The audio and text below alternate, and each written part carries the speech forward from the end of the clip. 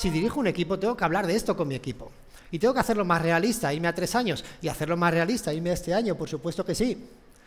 Y en este año tengo que hablar de cosas más prácticas. El trimestre, el mes y la semana. Trabajar por objetivos significa ponernos objetivos constantemente, en todos esos escenarios. Algunos más estratégicos, otros más operativos. Pero os puedo asegurar que esto no se ve muy a menudo. Son pocos los comités de dirección con los que me siento.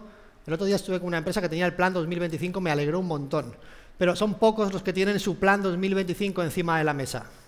Muy pocas organizaciones. Si yo no tengo un plan como líder del equipo, como líder de la empresa, ¿cómo va la gente a querer, tener objetivos? Si es que no sabe ni hacia dónde vamos.